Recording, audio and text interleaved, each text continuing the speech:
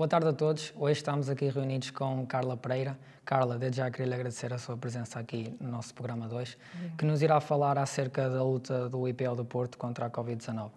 Carla, uh, para iniciarmos a nossa entrevista, há quanto tempo trabalha no IPL do Porto e qual é a função que designa dentro do mesmo?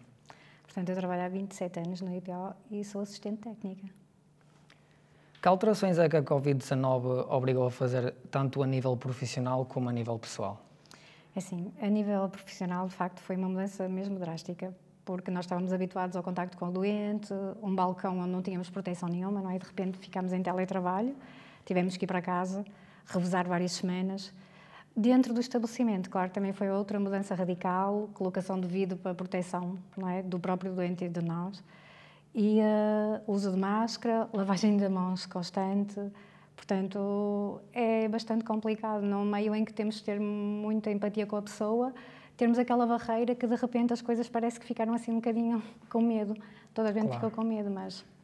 Em relação ao teletrabalho, e desculpe estar a interromper agora, eh, quanto tempo é que teve em teletrabalho e como é que foi para si o teletrabalho? É assim, eu tive duas semanas, depois não quis ficar mais, quis mesmo ir para lá porque achava que queria estar lá, sentir-me bem, sentia-me protegida lá, por isso eu preferia estar lá do que estar em casa, na realidade, sentia-me protegida lá e útil. Por isso eu preferi estar lá. Só tive duas semanas, não quis mais estar em teletrabalho.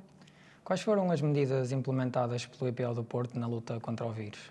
Assim, as principais e as, pronto, as mais drásticas, mas que realmente que surtiram efeito, porque os doentes do IPL são doentes que estão debilitados e imunodeprimidos, não podem não é, ter contacto com nada que possa ainda deitar as defesas mais abaixo. Foi uh, principalmente uh, os doentes é, internados, a proibição de visita ao doente internado, o que custa para as famílias, não é? E uh, o uso de máscara obrigatória também, mas principalmente a visita ao doente internado, a proibição, e também o acompanhamento do doente às consultas, não é? Só podiam ir doentes, não é? Acompanhantes com aqueles doentes dependentes senão tinham que ir sozinhos, não é? Para não estarem a pôr em causa os outros doentes que estão debilitados, em, em condições que a gente já sabe que não é fácil. Na sua opinião, a proibição de visitas aos doentes terá tido um impacto negativo muito forte no, nos mais Sim, próximos? Sim, houve pessoas que não entenderam, não é? Mas aquilo foi, acho que foi das medidas que surtiu mais efeito, porque conseguimos proteger os nossos doentes. Sem dúvida, eu acho que foi uma medida drástica, mas que foi muito necessária e que o PO foi muito à frente nesse aspecto foi dos primeiros hospitais a colocar essa medida, mas claro, foi proteger os doentes. Em relação aos doentes, como é que avalia o comportamento dos doentes face às medidas quando chegavam ao estabelecimento? É assim, uh, no âmbito geral, eu vou falar no geral, eu acho que toda a gente acolheu bem. Claro que há sempre aquelas exceções à regra, pessoas mais, não é, que sentem as coisas de outra maneira uh, e que às vezes não aceitavam bem não acompanhar, queriam acompanhar a familiar às consultas muitas vezes, não é? A maior parte das situações era por causa disso. Pessoas de, pessoas de independentes, pessoas autónomas, perfeitamente, que queriam sempre levar alguém, mas que isso não ia colocar em causa a, a, os outros doentes que estão na sala de espera. Muitas vezes pessoas debilitadas e imunodeprimidos que não podem estar a, a colocar em causa a, uhum. doença, não é? a saúde deles. Como é que os médicos e todos os, os trabalhadores que fazem parte do elenco do IPL do Porto reagiram às medidas impostas pelo mesmo?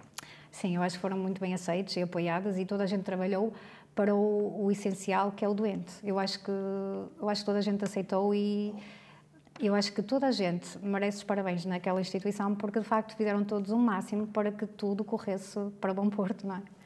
Olhando assim para uma espécie de plano geral, como é que caracteriza os últimos meses vividos dentro do, do IPL do Porto? Desde o início da pandemia, que chegou a março de 2021, vamos expor até não, março de 2020 até março de, de 2021, este ano da hum, pandemia. Exato. Quando, quando tudo começou, não é? Era tudo uma novidade, era muito medo. O hospital, de repente, um hospital com tanta gente diariamente, passar tantas centenas de doentes lá, de repente aquilo parecia um hospital fantasma, porque realmente só iam os doentes que iam fazer tratamento, aos doentes mesmo que tinham que ir, não é? Por alguma situação. Aqueles doentes de rotina, de follow-up, já não iam, não é? Eram consultas telefónicas.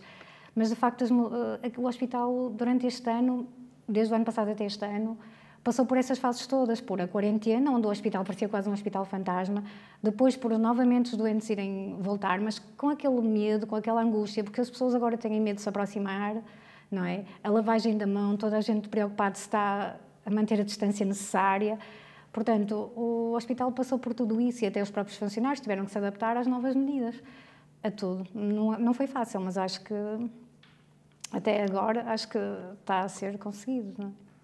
Na sua opinião, em relação à pandemia, voltando ao tema da Covid-19, o que falta aplicar para os portugueses se livrarem do vírus de vez? Assim, uh, o que falta aplicar para os portugueses, eu acho que não é só os portugueses, eu acho que é uh, a humanidade inteira, o ser humano mesmo. Eu acho que esta pandemia veio, há muitas teorias da conspiração que veio por um laboratório ou que seja, não é? Mas, na meu ponto de vista, tenha vindo de onde veio, eu acho que uh, o ser humano tem que olhar para isto e ver as coisas de outra maneira, não é? Tem que ver o que é que anda a fazer ao planeta para colocar-nos nesta situação. É? Eu acho que isto é culpa do ser humano, é nossa culpa. E nós percebemos que somos todos iguais e que aqui não há, uh, não há dinheiro, não há status, não há posição social. Todos morreram, aqueles que morreram, todos estavam, não é? Foram todas as classes sociais. Por isso nós temos que compreender isso e dar valor ao tempo, principalmente para as pessoas que nós amamos. Nós temos que valorizar o nosso dia a dia e é isso que nós não valorizamos. Nós andamos sempre a correr, nós não vivemos nós sobrevivemos muitas vezes e o planeta também está a sobreviver e o planeta precisa de respirar. E o planeta precisa de respirar e nós é que estamos com máscaras para que ele possa respirar. Eu acho que já me respondeu de uma forma muito completa, mas na sua opinião, como é que os portugueses poderão, o que é que poderão ter aprendido com, com, com esta pandemia? Eu acho que aprenderam eh, eu, no meu ponto de vista, o que eu aprendi é dar valor ao meu tempo, dar valor à, à, minha vida e principalmente às pessoas que eu amo e que estão à minha volta porque de um momento para o outro, nós já sabíamos disso, o ser humano sabe disso, nós sabemos disso, não é? Tudo pode acabar de um segundo para o outro, só que nós não nos apercebemos, não é? Nós não vivemos a pensar nisso. E nós temos que aprender a dar valor, a, que, a ser gratos ao que nós temos, não é? E a, às pequenas coisas da vida, que às vezes são as que têm mais valor. E principalmente também, não é? A, a viver de uma maneira que a gente não possa valorizar as coisas supérfluas, a valorizar o que é o essencial. E a valorizar principalmente tudo o que nos é dado pela natureza, porque eu acho que o ser humano trata muito mal. Novamente vou-me repetir, mas o planeta, os animais, não é? Tudo vem de lá e nós cada vez tratamos mais mal o planeta Terra e não merece. Por isso é que estamos assim. No meu ponto de vista é isso. Antes de darmos fim à nossa entrevista, uh, tenho a noção que cumpriu o seu papel para combater o vírus? não só dentro do seu local de trabalho, mas também dentro de casa e dentro dos outros locais, como, como também na rua. Sim, eu tenho essa noção. Pelo menos foi-me pedido para usar máscara, usei, foi-me pedido para distanciamento social e eu assim o fiz, não é? Tentei, que não é fácil, não é? A família, os amigos, foi-me pedido isso e eu cumpri. Eu, eu tenho a consciência que cumpri tudo à regra, não é? Por isso, acho que estou com a minha consciência tranquila. Damos assim o final à nossa entrevista com a Carla Pereira. Obrigado. Carla, obrigado por ter estado aqui connosco. Voltamos para a semana, desta vez com outro convidado. Não se esqueçam de nos seguirem nas nossas redes sociais para acompanharem tudo que fazemos off-topic. Obrigado.